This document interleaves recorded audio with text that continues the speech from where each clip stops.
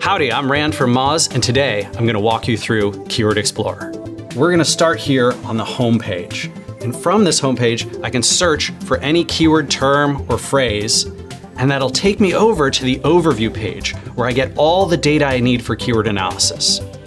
Up at the top here, we've got our metrics, keyword volume, difficulty, opportunity, and potential. And each of these have a different impact on how you might prioritize your keywords. From here, let's dive into SERP's analysis, which will show us the Google search result for this particular keyword phrase, all the pages that are ranking, and the SERP features that can appear on the page. Now let's dive into suggestions. From the suggestions page, I get a comprehensive list of suggestions from the largest English language keyword database. And I can filter those suggestions based on different ways that I might want to see new types of keyword suggestions. I can also sort by volume, by relevancy, and I can export easily to CSV. One of the best parts of Keyword Explorer is our metrics.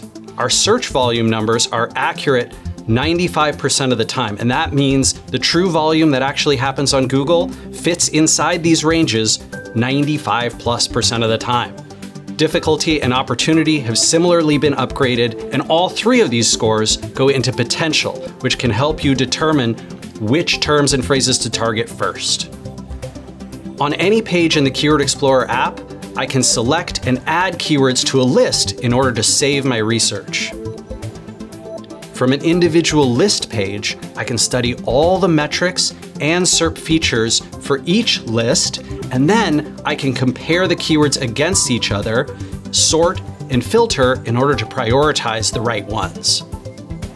Using the import button, I can easily add a bunch of keywords to a new list, or I can export a list or a SERP analysis or a set of suggestions to CSV so I can play around with it in Excel.